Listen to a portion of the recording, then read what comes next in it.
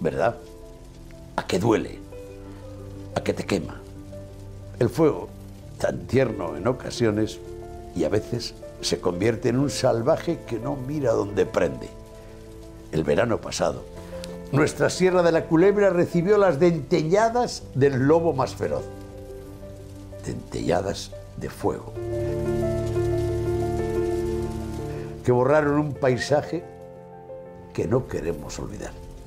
Por eso, en este primer programa del Arcón, de la añada de 2023, volvemos a los mismos lugares que tantas veces hicieron las delicias de nuestros espectadores con impresionantes paisajes verdes, masas forestales y rincones llenos de vida. Parece que fue ayer. Recuerdo cuando paseaba por la orilla en el embalse de Villar de Ciervos y subía a la cresta más alta de su bosque. Pude ver al lobo haciendo guardia en sus dominios, un escenario que ahora sigue calcinado. No podíamos pasar por alto la tragedia vivida. Los incendios se cobraron vidas y acabaron con bosques, apriscos, casas, rebaños y colmenas. Nos sumamos a las reivindicaciones sobre las ayudas a la Sierra de la Culebra tras el incendio.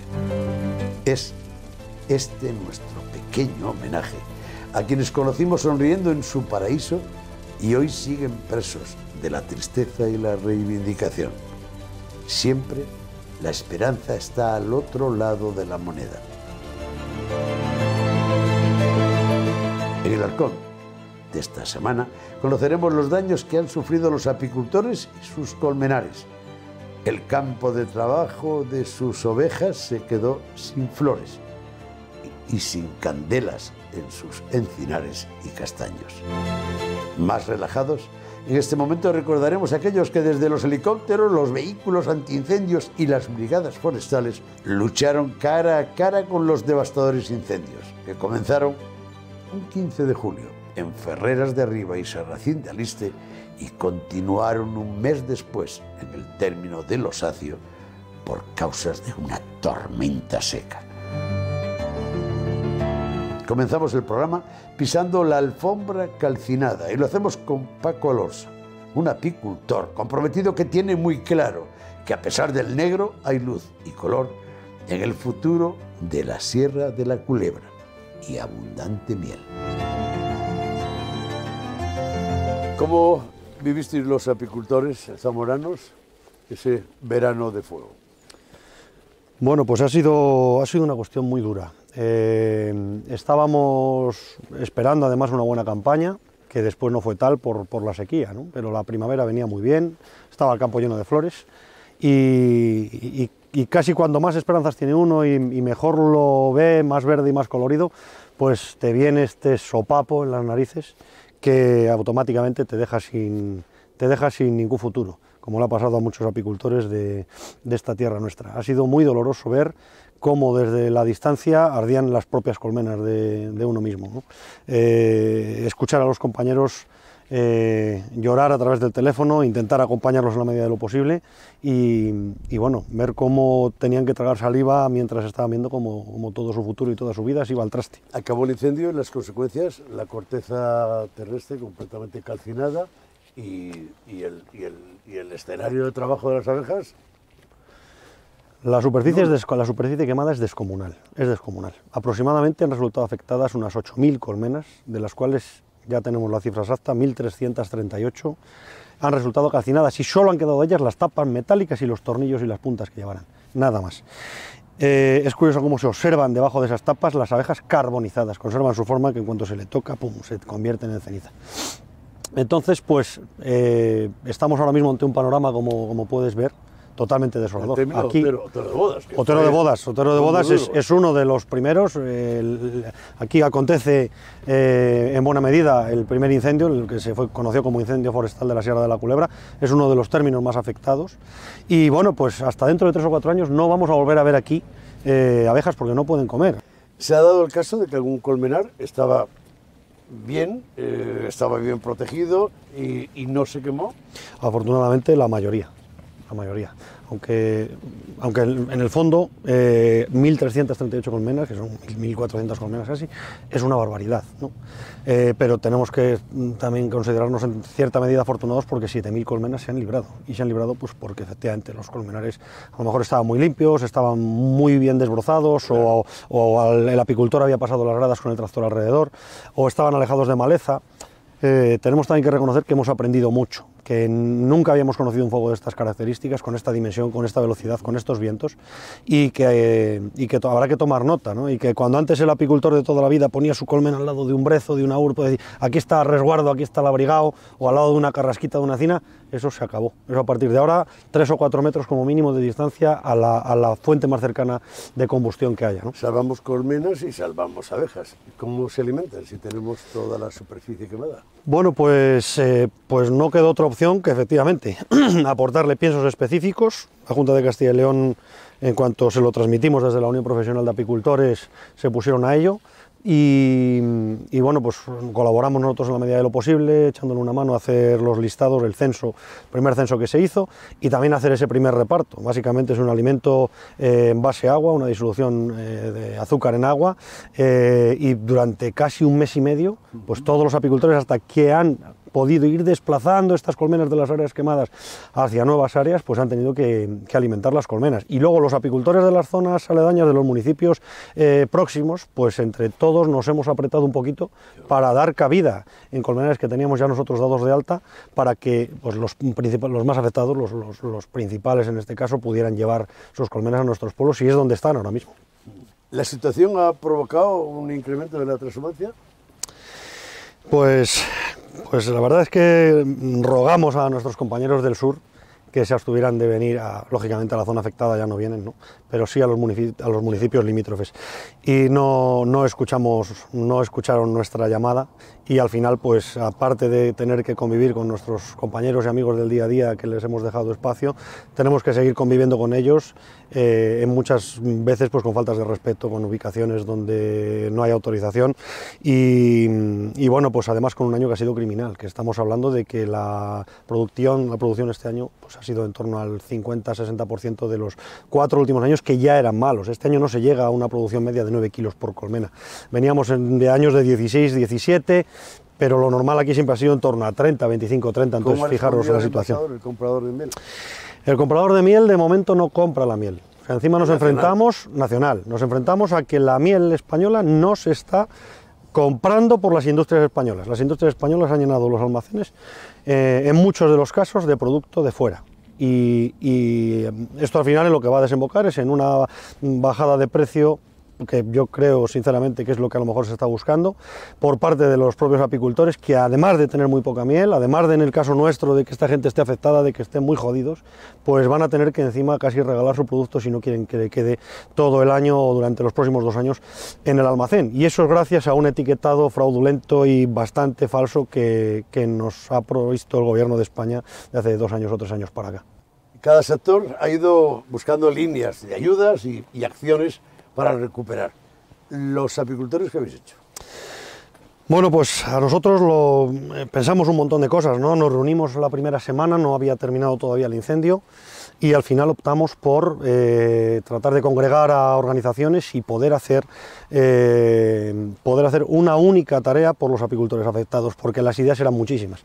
Y optamos finalmente por tratar de reponer tantas cajas, tantas colmenas, hablamos de continente, como se hubieran quemado en el incendio. Y tras estos meses, pues finalmente esta semana podemos decir que hemos conseguido juntar los 74.000 euros, casi 75.000 euros que hacen falta para reponerle a todos los apicultores, independientemente de que sean de apisdurio o no, eh, pues las 1.338 cajas que se han quemado. Y creo que es el mejor comienzo que puede haber para que junto con la tierra que empieza a reverdecer y que esto al final pues alguna flor dará este año, no serán suficientes para las abejas, pero a lo mejor en dos o en tres sí, es el mejor comienzo y la mejor manera de arrancar y de levantar el ánimo que podemos tener con nuestros compañeros, que en el mes de febrero, de marzo, cuando empiecen a hacer los enjambres, cuando las colmenas que han sobrevivido empiecen a preparar sus núcleos de enjambrazón, tengan la seguridad de que van a tener unas cajas nuevas a estrenar de, parte de toda la sociedad zamorana, de parte de toda la sociedad castellano-leonesa, que también hay donantes de, otras provincias y la verdad que nos sentimos muy orgullosos de esto. Eh, y entre todos, si volvemos a sentarnos, pues conseguiremos volver a ver verdes los sotos de castaños como el que tenemos a nuestra espalda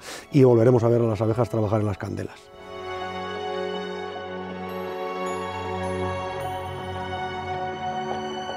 Todo un contraste las gotas de lluvia suenan con fuerza. Qué pena que no hubiesen aparecido en aquellos días del verano en la Sierra de la Culebra, donde el único sonido era el de la madera de los árboles crepitando por culpa de las llamas. Andrés es el guarda mayor de la provincia de Zamora, además de un gran defensor de la cultura tradicional alistana. Pertenece a una saga familiar siempre vinculada a los bosques. Así vivió la tragedia. Vaya contraste, Andrés, ¿eh? hoy con lluvia. Es cierto. ¿Eh? Y hace unos meses ardiendo hasta, hasta la tierra. Madre mía, sigue siendo el guardamayor de Zamora. Así es, sigo siendo el guardamayor de esta provincia mía que es Zamora. ¿Y cuál es tu responsabilidad? Eh, el resto de los días del año, pues bueno, soy una especie de coordinador entre los agentes medioambientales de la provincia de Zamora, el Servicio Central y, bueno, soy, soy su, su, voz y sus ojos. Tú eres de tierra forestal, ¿no? Tierra de, de montes. ¿De dónde Así es, eh, pues del otro lado de esta sierra. he vivido en Maide y en San Pedro de las Herrerías, soy alistano de pura cepa y me he criado con mucho orgullo en esta Sierra de la Culebra. Lo tuyo viene de familia. Tu padre fue guarda también. Así es, mi padre fue guarda forestal, él trabajó sus últimos años justo donde, donde estamos ahora y bueno, y, su rama la hemos seguido tres hijos de, de él. Todavía recuerdo las imágenes de, tu padre con la capa parda. Por cierto, sigues defendiendo la capa parda, esa indumentaria, su estudio y su promoción, ¿no? Así es, sigo siendo el presidente de la Asociación para la Promoción y Estudio de la, de la capa listana y bueno, pues trabajando muy, muy fuerte por, por ella. Este año la capa parda en su día tuvo un guiño, un recuerdo, ¿no? A la, efectivamente, este año hicimos un homenaje a los fallecidos y los heridos eh, en estos grandes incendios de, la provincia de Zamora. Sí, la verdad que fue muy emotivo. Yo reconozco que a lo mejor nos pasamos con la emotividad que hicimos sufrir a, las viudas de los fallecidos, pero, pero bueno, se lo merecían. Andrés, en varias ocasiones nos hemos visto ya en esta tierra, en estos bosques, en la Sierra de la Culebra, en Aliste con un paisaje verde y hablando de las excelencias que tenía la naturaleza y las masas boscosas, los aprovechamientos forestales. Y ahora nos encontramos en el mismo escenario, pero de color, de color negro. ¿Cómo viviste la situación cuando empezó todo? Un, el guardamayor, eh, tenías que estar... Por supuesto, el primero de los grandes incendios, que fue el 15 de junio, miércoles por la tarde, con, a, raíz de unos rayos que cayeron esa, esa, tarde, una tormenta seca. Yo ya desde el día siguiente, jueves por la mañana, y durante ocho días seguidos aquí estuve, 12 horas cada día, y bueno, pues ayudando en todo lo posible y bueno, pues dando la bienvenida a los convoys o otras comunidades que venían de fuera, eh, siendo bueno, pues, relaciones públicas de, este operativo y, bueno, pues encargándome del habituallamiento, de que pudieran dormir en un sitio digno estos convoys que vienen de fuera y bueno, que se sintieran como, como en su casa. Las temperaturas de aquellos días hacían presagiar lo que vino después, ¿no? Eh, así es. Fíjate que hablamos de primavera, porque el 15 de junio todavía es primavera, una estación que debería, bueno, pues tener temperaturas suaves, eh, haber mucha humedad y todo lo contrario. Ya desde el día 8 de junio hasta el 18 fueron días de, intenso calor. Así es. Bueno, ¿y cómo se puede? Porque el viento era vuestro mayor enemigo. Así es. Os tenía como marionetas de un lado a otro. En esa en ese descontrol, en esa, esa debacle, ¿Cómo, cómo, ¿Qué hacíais? Vale, ¿Qué sensación? ¿Sabes lo que hicimos ya cuando nos dimos cuenta que, que esto era inalcanzable, el, llegar a extinguir el, incendio? Ir de pueblo en pueblo.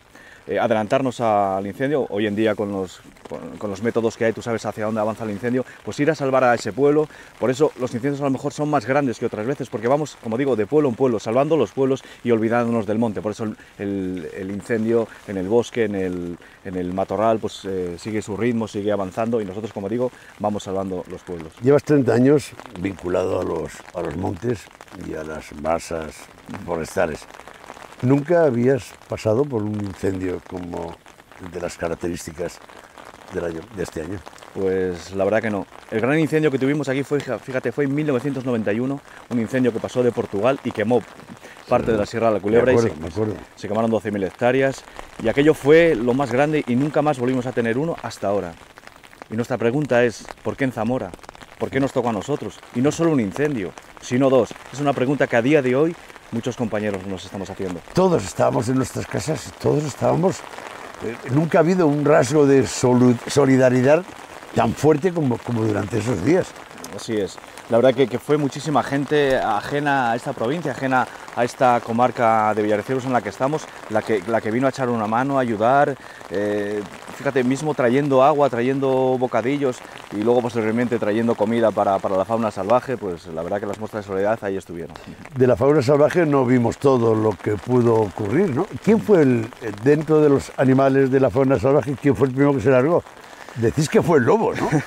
Sin duda, sin lugar a dudas, el animal más astuto que hay en esta sierra es el, es el lobo. Y bueno, prueba de ello es que un compañero, un, celador, Rubén Baez Agudo, grabó con, con las cámaras de fototrampeo que hay por aquí colocadas a una loba parida con, con las tetas recién chupadas, lo que da aquí dentro del quemado, lo que daba muestra de que sus cachorros se habían salvado, ella los seguía alimentando dentro del quemado y bueno, pues es una población, como digo, astuta y ahí siguen. Que eh, eh, yo he visto, hemos podido echar un vistazo a unas imágenes, a unas fotografías tomadas de los restos de los cuerpos de, de muchos animales. Fueron muchos los que, Sí, no sobre- todos los que vimos en las imágenes. Claro, sobre todo los ciervos. En- quien nos delata de esos animales muertos eran, eran los buitres. Yo aquí, muy cerca de aquí, uno de los días conté 52 buitres y me acerqué. Pues luego pues, vi que era una, una cierva muerta. Es comprensible el descontento de la población, esos momentos de ira, de rabia, de, que no, que no podían, no sabían lo que iba a pasar, que veían su pueblo amenazado, sus montes. Es comprensible.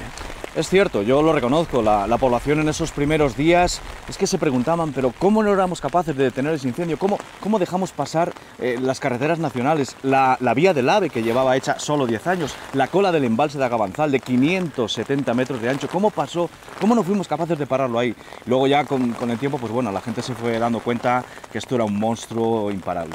Mi nieto, cuando volverá a ver la Sierra de la Culebra como estaban sus mejores tiempos. Bueno, para hay que esperar hasta 40 años, pero mm, ya te digo, eh, poco a poco se va a ir eh, cubriendo otra vez de, de- de matorral, de, de robledal, el, el bosque primigenio que hubo aquí en la Sierra de la Culebra antes de las grandes repoblaciones de los años 50 y 60. No es fácil asumir la transformación del paisaje, sobre todo cuando el recuerdo te eleva a una de las crestas calizas más espectaculares de la Sierra de la Culebra. Rubén nos explicaba entonces el impresionante valor medioambiental y forestal del entorno. Esa alfombra que estamos contemplando, ¿quién la teje? Pues esta zona tiene mucho pinar, hay mucho pinar, de pino silvestre, hay pino pinaster, eh, fundamentalmente, y luego tenemos, hay manchas ya que son naturales de, de la zona, porque el pinar es todo repoblación, hay mucho roble, unas zonas de roble, luego hay vaguadas que hay bastante castaño, en unos sotos muy bonitos de castaño, ¿sabes? Y es, luego las zonas claras, el matorral es el brezo. Hoy siguen alerta evitando los incendios en el invierno. Pero ayer fueron unos valientes que al frente de helicópteros, camiones y otros vehículos se enfrentaron al fuego. Visitamos ahora la base de la Brigada Helitransportada de Villar de Ciervos, donde charlamos con Javier y Carlos.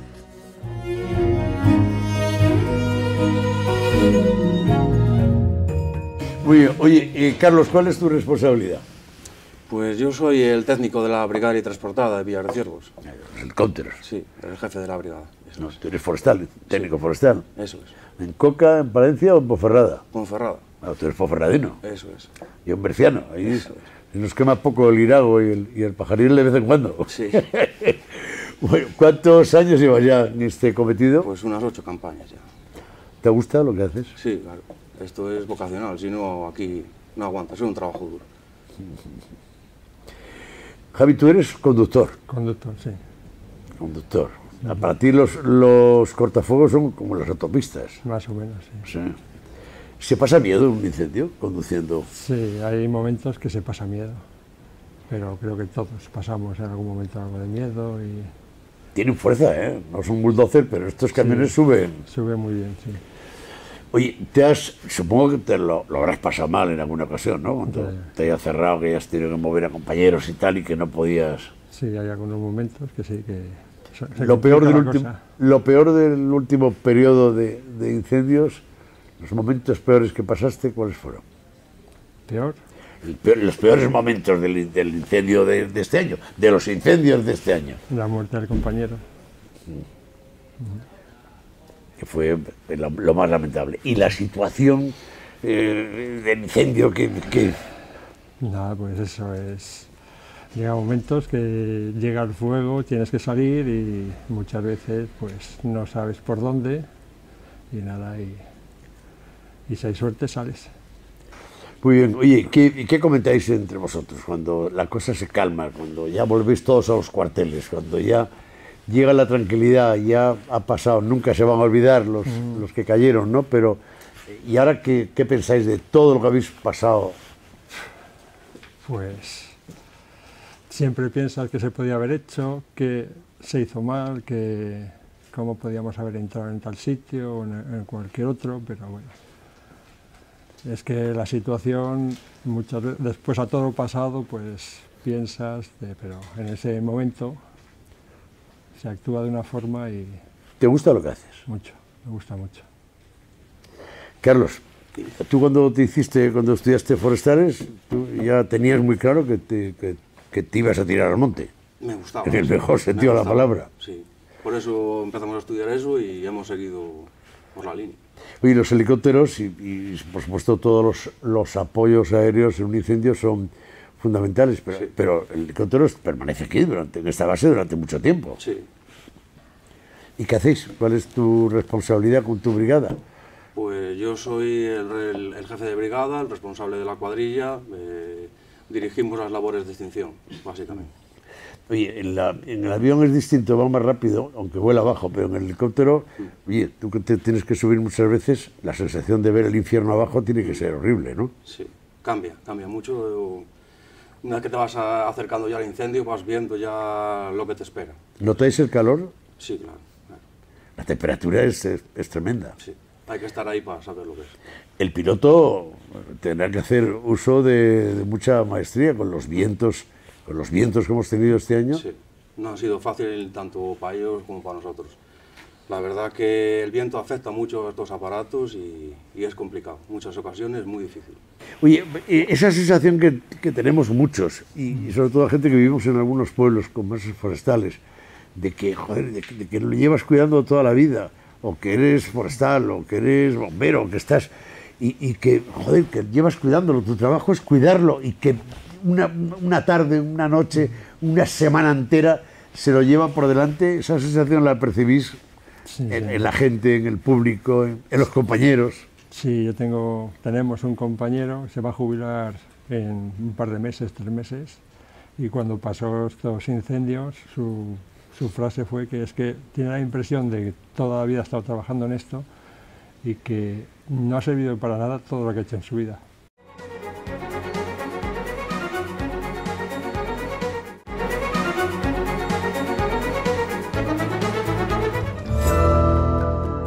La encontramos en un bosque, en un robledal pisando tierra húmeda, pero Ana Pedrero, periodista zamorana de raza, vivió con intensidad aquellos momentos que nos ponían los pelos de punta y el corazón en un puño ante las largas lenguas de fuego que recorrían las montañas.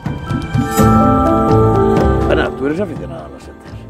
Pues sí, aficionada, ¿eh? aficionada mucho. Oye, siendo zamorana es obligado, ¿no? Hombre, claro, pues Aliste, Sierra de la Culebra, Sanabria y muchas otras zonas que la gente no controla tanto. Lo triste es que hay algunas zonas donde vamos a estar sin setas una temporada. Pues sí, este año la verdad es que ha sido terrible esas más de 60.000 hectáreas de la Sierra de la Culebra y no solo las setas, ¿no? Es la miel, es la, la agricultura, es ese turismo de observación, eh, es el hábitat del lobo, del corzo, del ciervo, es la reserva de caza.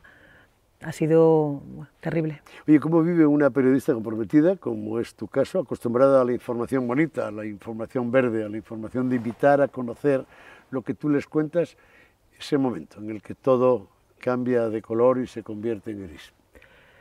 Pues con lágrimas, que creo que no, no por ser periodista, creo que todos los zamoranos hemos echado lágrimas de sangre ¿no? este verano, con indignación, con impotencia. Era tan terrible que se veía desde Zamora, desde la terraza de mi casa, se veía sobre todo ese oeste, todo, todo, todo en llamas, era un resplandor rojizo bestial en la noche. Entonces es algo además como que, no te cabe en la cabeza que dices... Eh, que pueda estar pasando, es como un escenario irreal. Después de todo lo irreal que hemos tenido ya estos años, Javier, la pandemia, mm, pues ya ver arder la, la culebra era algo dantesco, terrible, y luego, claro, la tragedia humana que ha habido ha sido terrible. la agenda laboral cambiaría. Era la información permanente. Hoy, gracias a los móviles, teníamos la información. Eh, eh, eh, curraste mucho. Sí, la verdad es que han sido días de currar mucho todos los profesionales. Lo que tú dices, además, la, información la tienes. Además, estábamos todos con el, con el alma en vilo, ¿no? A ver qué pasaba eh, claro, te iban llegando cada X minutos nuevos frentes, nuevas zonas que tenían que evacuar, eh, pueblos a los que finalmente no llegó el fuego, pero ya estaban en alerta y estaban saliendo.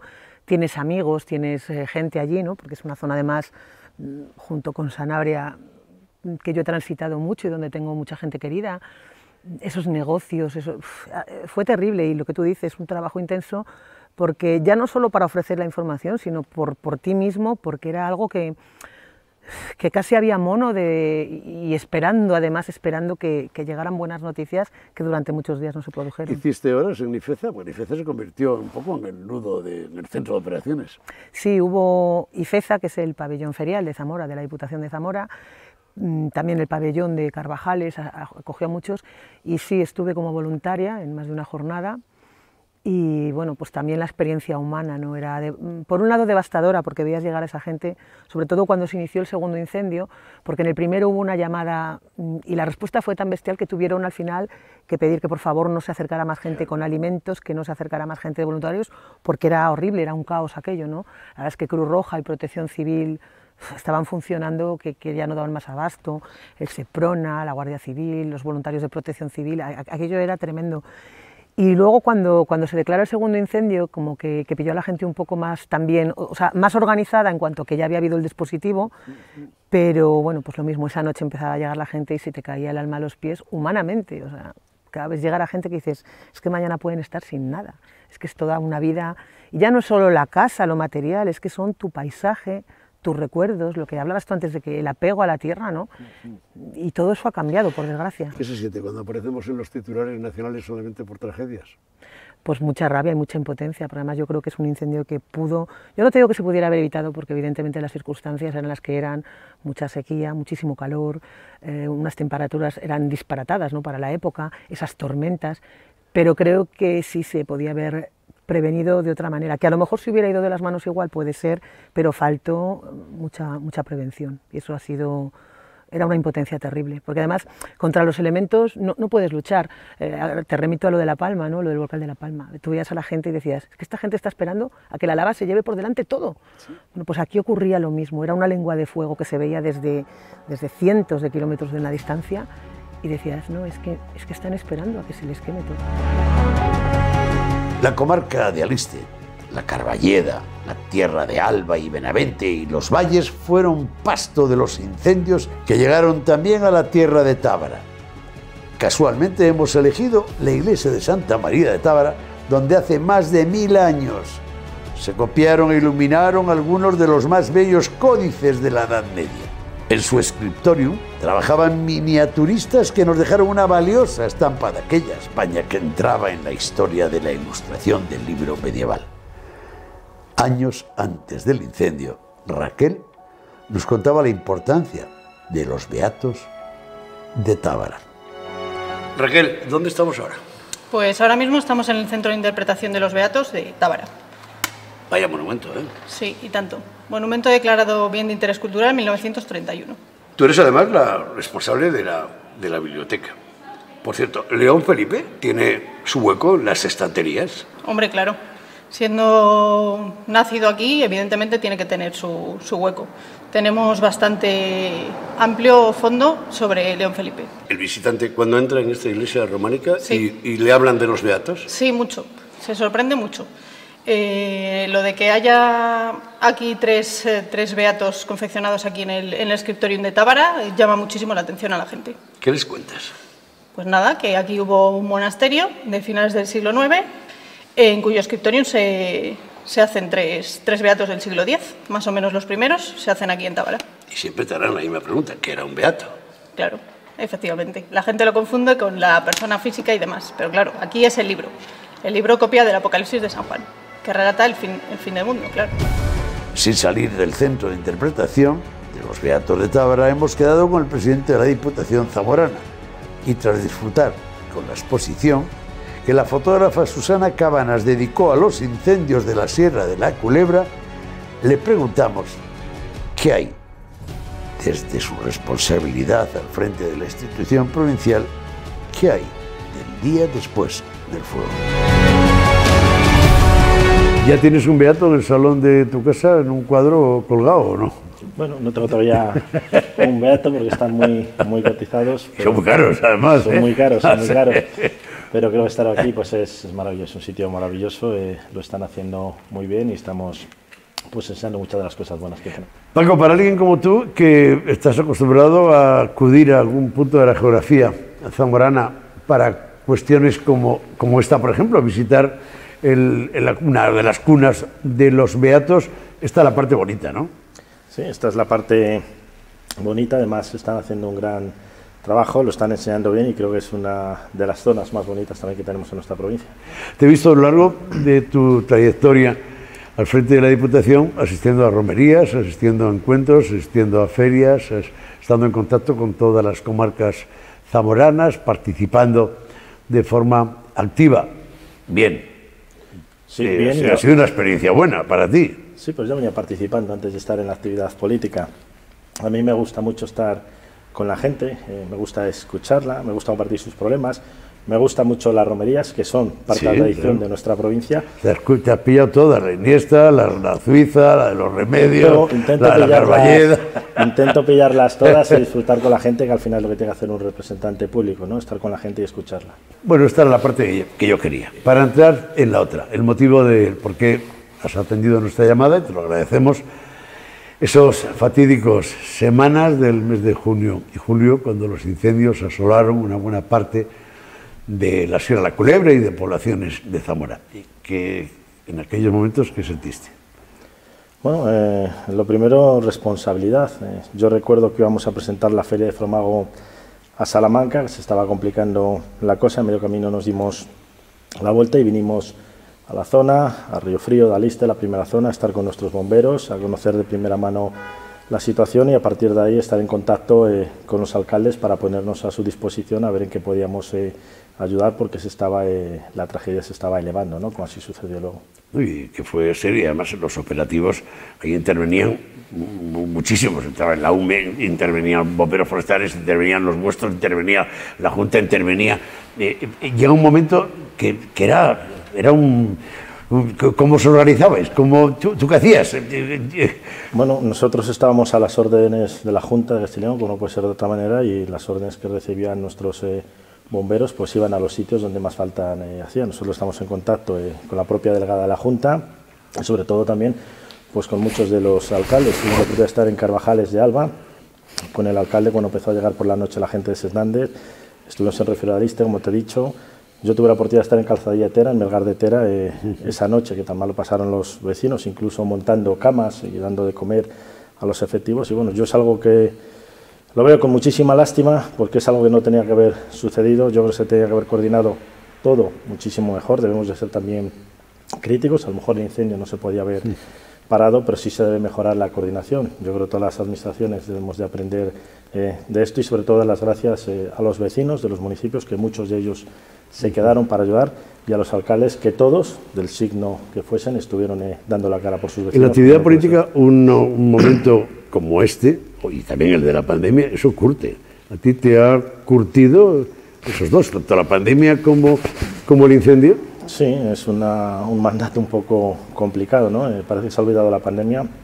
Fue algo de los que nos sentimos muy orgullosos, porque en la Diputación hicimos un gran trabajo y luego, bueno, pues vino el tema de los incendios, hay que estar con Iberostar, ¿no? Eh, los mandatos no los escoges, eh, si pudiéramos escogerlos, pues hubiésemos sacado más cosas.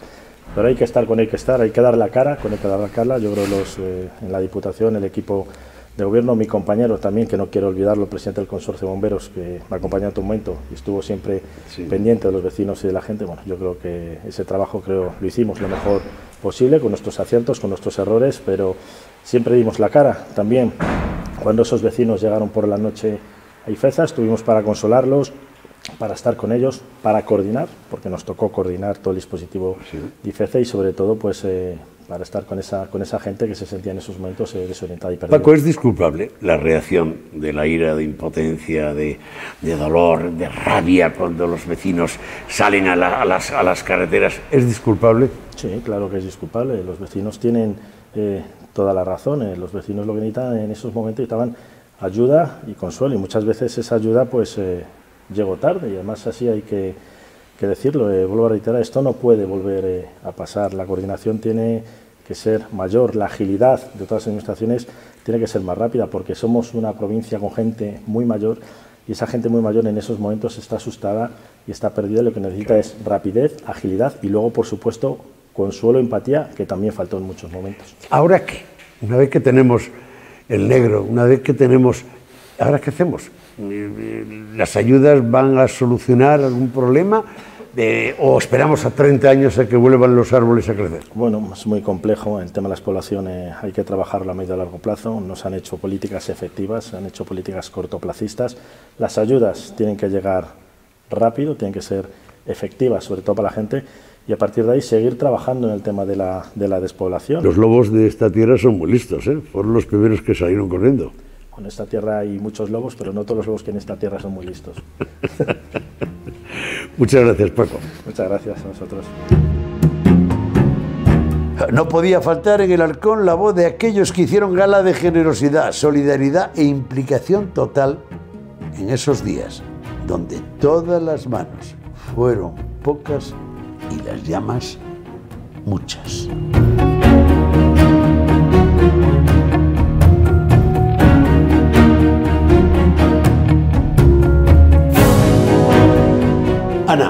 Goyo y Roberto, sobre todo Ana y Goyo, eh, ¿tenéis la sensación ahora de estar sentados en un patio de butacas eh, contemplando lo que pueda pasar, que era lo que hacía el resto de la sociedad? Hubo alguien que se quedó sentado en una butaca y no movió palo, sin embargo vosotros sí. ¿Tenéis Sí. esa sensación o no? Sí, sí, sí, desde luego que sí. Hubo mucha gente en el patio de butacas. Sí. Sí, sí. Bueno, oye, eh, vosotros os significasteis bastante durante el periodo de los incendios. Y además, eh, supliendo una parcela que parece que no, pero era muy importante. Ana, ¿qué es lo que hiciste? eh, cómo, ¿En qué colaboraste en, en esos días del incendio? Pues a mí me llamó Goyo y me contó un poco lo que quería hacer y le dije que contara conmigo y nos pusimos a ello. Queríamos actuar cuanto antes porque la gente lo necesitaba ya, todo lo que se hizo. Y pues eh, llevar bocadillos, empezar a hacer comida, eh, brigadistas atendidos, que era lo más importante, y yo creo que lo conseguimos. Tienes una pequeña empresa de distribución, estábamos Sí. en verano, Sí. había turistas, había Sí, sí, sí, movimiento, sí. y decidiste dedicar horas y días a, Sí, sí, sí. a esa causa. Días, días a esa causa.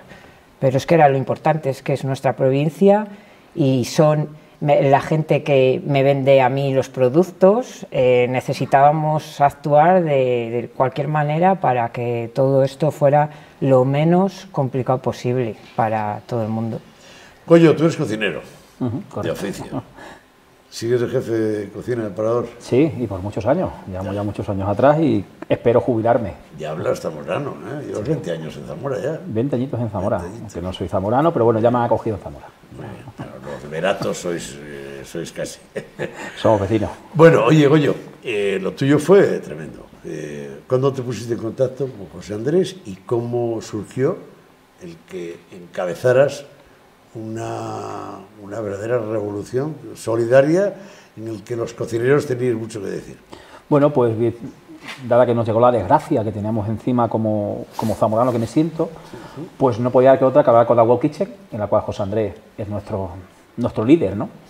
Hablé con ellos y como pertenezco, pertenezco a la Asociación de Cocineros de Paradores y estamos involucrados en los proyectos estos, pues me dijo, oye, ponte en marcha ya, empieza a hacer ya, lo que sea.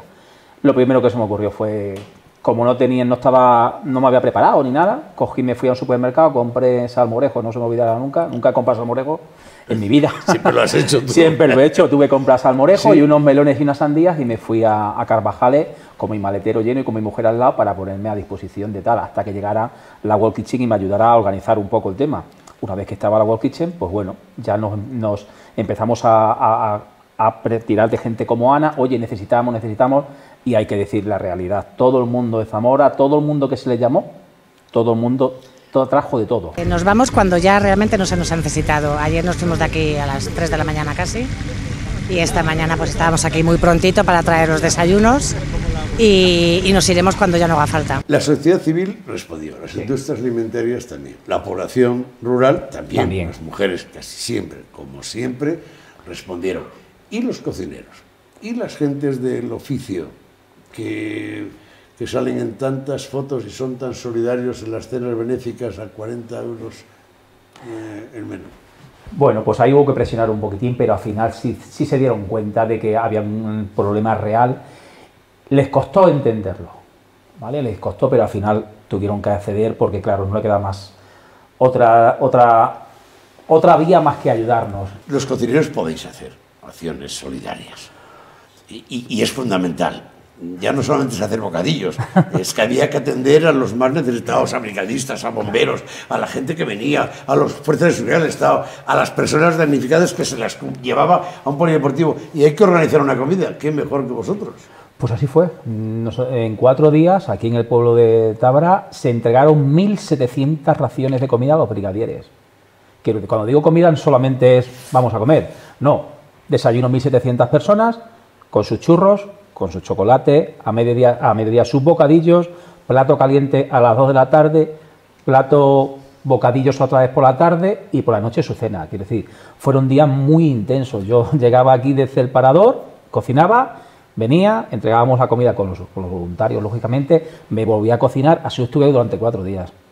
Ha pasado el incendio de Zamora. ¿Y ahora qué? Mm, ¿Eso se quedó así? Eh, ¿Estás contactando? ¿Se están movilizando los cocineros de Zamora, eh, de Castilla y León, de los...? Seguimos haciendo cositas, es decir, los fuegos ya pasaron, afortunadamente. Y ahora necesitamos seguir haciendo actividades. Eh, después de los incendios hemos hecho cuatro eventos, tres eventos, tres eventos, no, no cuatro eventos, tres o cuatro eventos, no recuerdo, en el cual seguimos generando dinero, recursos para entregárselo a la gente que necesita, porque claro, los pastos van a salir con estas aguas, sí, pero de momento hay que, hay que ayudar a los ganaderos, hay que ayudar a la gente de las colmenas que han perdido todo. Es decir, que nosotros seguimos haciendo actividades. Sí que es cierto que tengo un gran apoyo por parte de, la restauración, de cocineros. Oye, cuando necesitas algo me llamas. Eso es muy positivo porque eh, creo haber encaminado o encauzado o, ser el, la cabeza visible de una, de una generación que viene apretando por detrás, lo cual me gusta muchísimo. ¿Eres partidario? Y aquí apelo a la organización que lidera José Andrés de crear unos retenes de cocineros solidarios para en caso de necesidad, que son muchas las veces que se necesita ¿Estáis preparados para poder salir? Sí, ahora mismo sí. Ahora mismo ya estamos después de los incendios, hay una, hay una sede, de, una base de cocineros en el cual no hay que me se descuelga el teléfono y estarían aquí ya. y preparados con alimentos debajo del brazo. No tendríamos que esperar. Ah, ojalá no, no nos haga falta, pero sí estamos en disposición. Tenemos una asociación que hemos creado los que estamos aquí, en la cual hay mucha gente detrás con muchas ganas de, si hiciera falta, trabajar. Ana, ¿cómo respondieron? Tú que manejas un poco la distribución de los alimentos tradicionales de, de Zamora. Me sorprendió. las empresas alimentarias cuando les dices, bien, necesito que me deis 50 kilos de queso, necesito eh, un palé de, leche porque... ¿cómo me sorprendió muchísimo, porque es que nadie nos dijo que no a nada, nadie. O sea, nuestra asociación se llama Zamora Solidaria porque Zamora es solidaria al 100%, ¿eh? Tanto restauración, hoteles, eh, distribuciones, mm, fábricas, todo el mundo que le hemos ido a pedir algo nos ha dado lo que ha podido dentro de lo que... La asociación está en marcha ya. Sí, sí, ya sí. hemos mm, demostrado lo que somos capaces de hacer. Sí. A partir de ahora, Zamora Solidaria va a continuar. Sí, sí, claro, por supuesto. Roberto, ¿cómo surgió Zamora Solidaria y, y- y qué pinta el alcalde de Carvajales en, en- en pleno incendio de Zamora? Eh, bueno, fuimos el núcleo central donde mucha gente que tuvo que estar desalojada de su casa, de sus pueblos, fueron a Carvajales. Evidentemente nos ofrecimos, tenemos un pabellón muy grande, tenemos instalaciones y nos ofrecimos y bueno, a raíz de la conversación que, que mantuve con Goyo y con Ana, pues eh, decidimos poner el Ayuntamiento de Carvajales a disposición de todos los afectados y fue lo que ocurrió. Entonces se centralizó allí prácticamente eh, muchísima gente de Hernández y de, y de los pueblos de alrededor que fueron afectados por los incendios y allí estuvieron durante tres días. Después estuvo la UME y bueno, la verdad que Carvajales en esos días de incendio estuvo muy involucrada, eh, tanto el ayuntamiento como todos los vecinos, porque fue una situación muy complicada.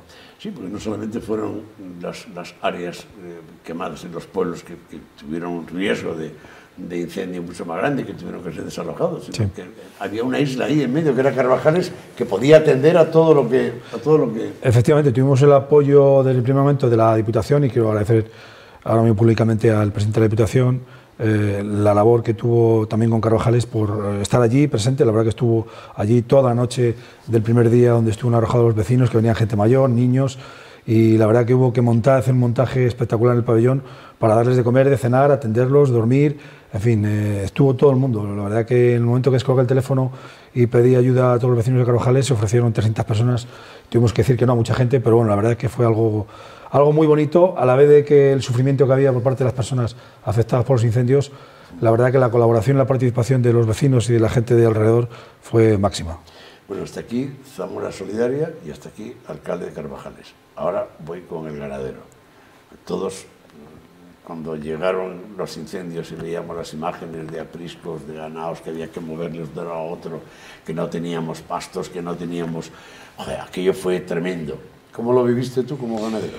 Buf, pues fue una situación muy, muy complicada porque teníamos pueblos alrededor que son amigos, son vecinos, eh, son casi familia y estaban sufriendo, estaba quemando ganado, estaba quemando los pastos y fue una, la verdad que mm, de Carvajales eh, y de la zona de alrededor, todos los, la gente joven que podía valerse con tractores, con, con, la, con la mano, con, con las palas, con, con, con los batefuegos, con todo, fuimos a ayudar a, a todos los pueblos afectados, el caso de Los Acio, que fue donde se iniciaron los dos incendios principales, eh, la verdad que fue momentos muy críticos y que una vez que pasó todo eso, eh, la verdad que todos los ganaderos y toda la gente se volcó pues, para ayudar a todo el mundo, pues, con, en este caso con alimento para los animales y con muchas más cosas para la gente que lo necesitaba. La raza alistana, Sí. ¿eh? la carne de aliste, la figura de calidad. Continúas abanderando, ¿no? Sí, sí, ahí sí, continúo como presidente, sí. ¿Tenemos futuro? Sí, hay, hay futuro, claro, hay futuro. Mientras eh, tengamos ganas y haya gente, te- el futuro claro que lo hay. Pues ha sido un placer. Gracias. Gracias. Vuestro testimonio, pues muchos se habrán sentido identificados en la hostelería zamorana, que también colaboraron con vosotros. Pero muy bien, por estar a la altura como cocinero, estar a la altura como voluntaria y estar a la altura como alcalde. Ha sido un placer. Enhorabuena. Igualmente, Gracias. gracias. Este programa va por todos vosotros, alcaldes y alcaldesas, ganaderos, paisanos y paisanas que os arrancaron parte de vuestro paisaje íntimo. Despedimos el arcón de esta semana con algunos versos de mi amigo Santiago León, cabrero y poeta de la tierra de Tábara. Érase un tiempo donde la vida brotaba a raudales en esta tierra.